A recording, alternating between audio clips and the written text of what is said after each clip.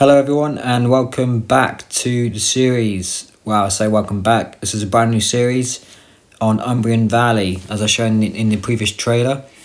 First of all, big apologies to everyone I have kept waiting to get this video out. It's been a while since uh, the Wyoming videos.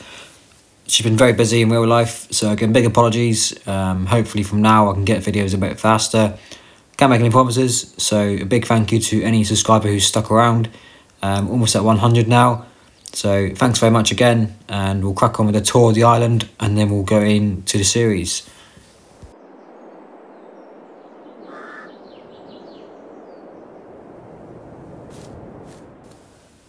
So as we make our way across the bridge, obviously, if you've played this map before, you can just drive straight across this. It's not an actual bridge as such. There was a bit of land there you can drive across, but I just thought it looks a bit better having this log bridge here. So we've got the, the water tower on the right hand side there, and just a little scout hut on the left side and you can see the windmill in the far distance there. This whole island is full of trees previously, uh, so I went around, cut them all down. Took uh, ages to get them all cut down, but we got there in the end, and I just a bit of landscaping on the island and put the tracks and everything in. Some leftover logs there, which is what we're going to be doing today, selling them, and then some more on the right hand side here. So moving across, we've got the pig pens. Obviously, the um, homes were doing pretty well, but we had to sell up all the pigs, bit of leftover manure there, and the pigs had to go. Everything had to go just to sort of pay off the loan, pay the bills. But now we're going to try and get back on track. So hopefully we can get some pigs going, and that will give us some manure, so we can actually get the fertilizer on the crops which we've got on the small island here.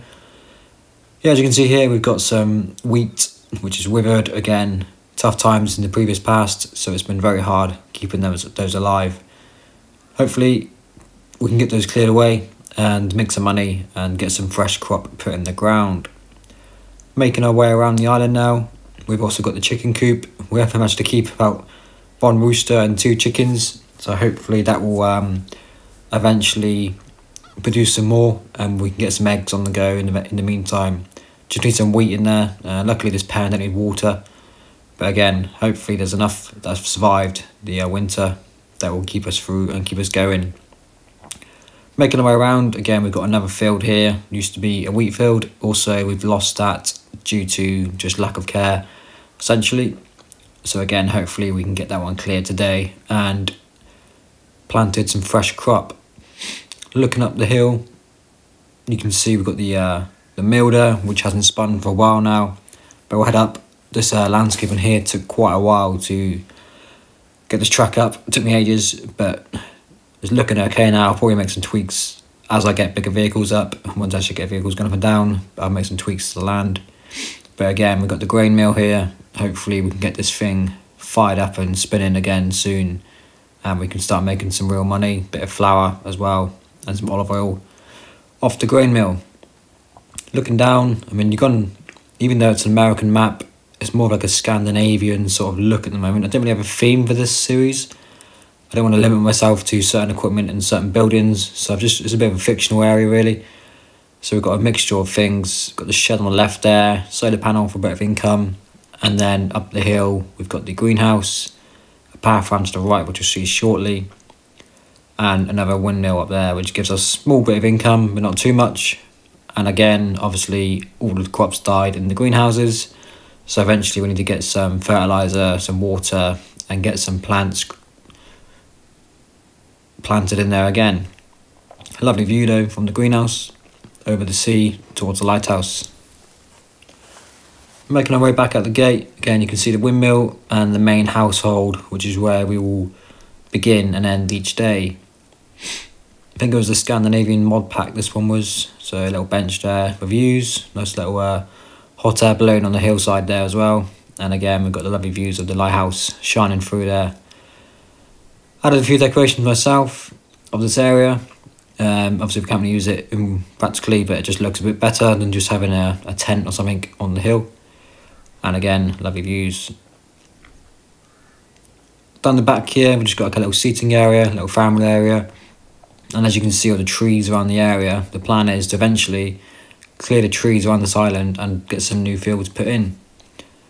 I put the rocks in here just because when I was doing the fencing, it just kept saying something to the landscaping, it just wouldn't let me place the fences on that bit there. So I just placed some rocks there, and this is just another path that leads around to the main area. Inside the uh, hangar here then, we've got any leftover vehicles, so we haven't got too much left over. We have got Mercedes tractor here, and we've also got a combine, which is in pretty good nick. Not the biggest engine, but it's enough to get us going in, in start. So got Mercedes, pretty nice model there, not the most powerful engine. And we've also got this FMZ Bizon combine, which again, not huge, but it's a nice little colour, nice mod, and that will get us going to begin with. So we'll close the door there, and we'll basically crack on with the series.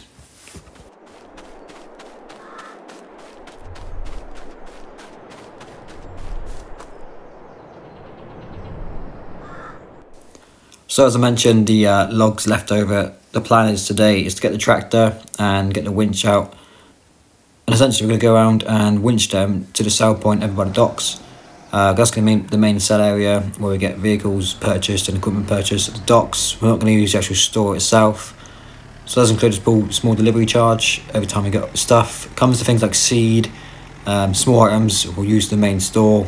Big deliveries, we're just going to use the uh, the docks and just bit of role play that it comes in by by ship or shipment every every couple of weeks. We can get big items delivered, so we can't just buy tractors and it just magically appears the same day within an hour. We have to wait until the next day. So I've got two day seasons on, so every every day we pass is essentially a two week period, give or take.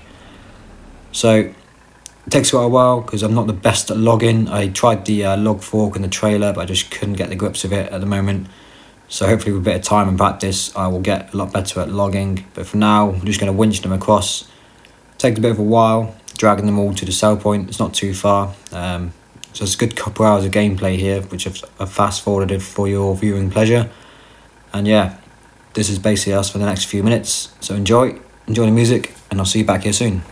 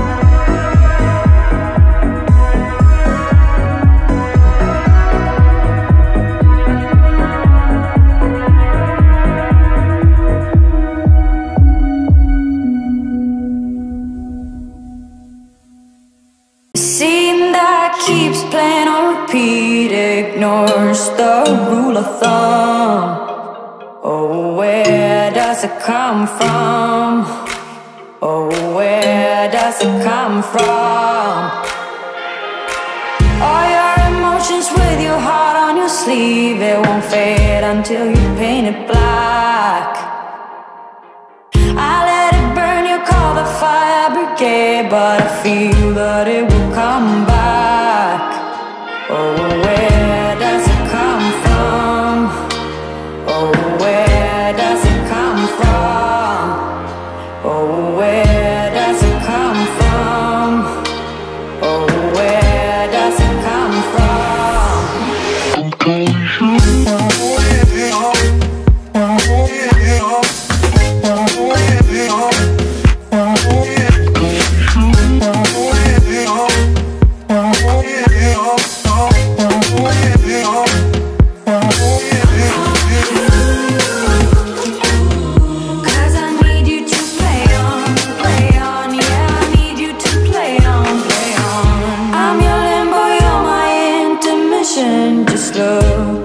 State we're in. I breathe you in and I can tell where I end and you begin. Where I end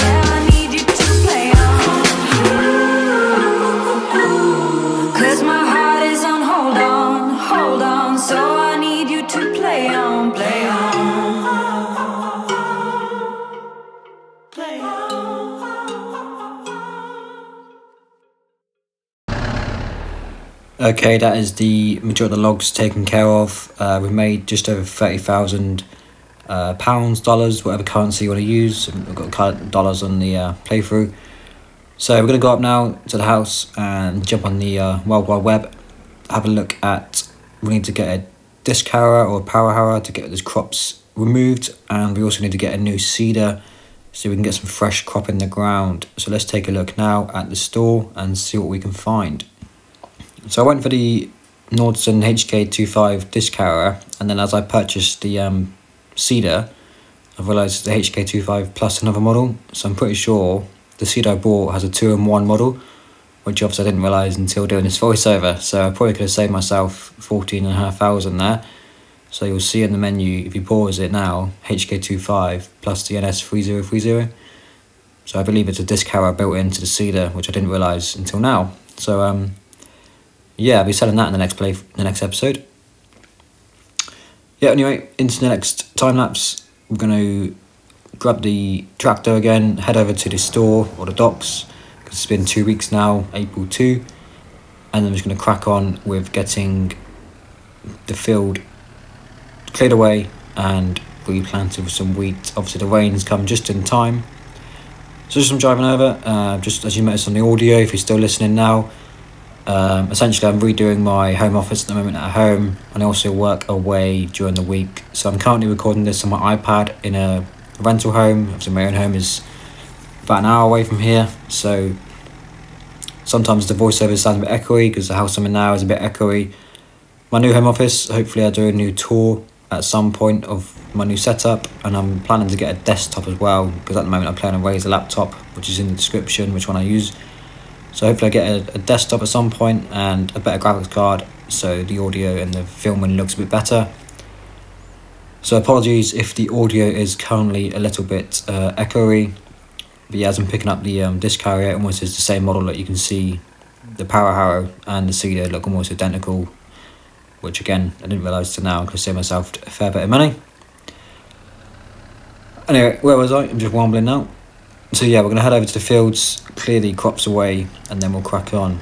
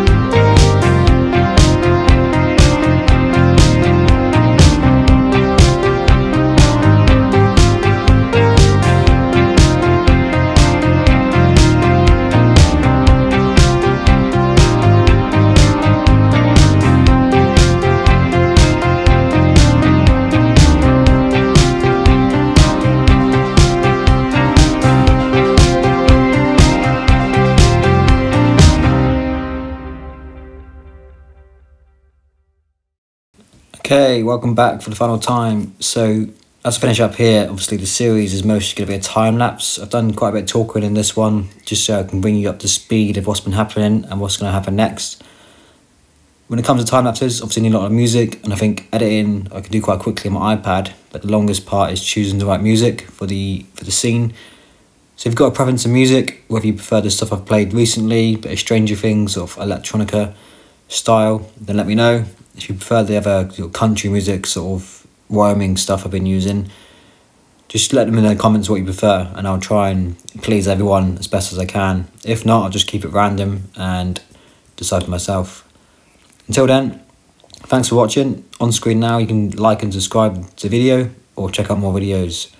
Thanks again to everyone who's stuck with me so far, and I'll see you in the next one. Take care.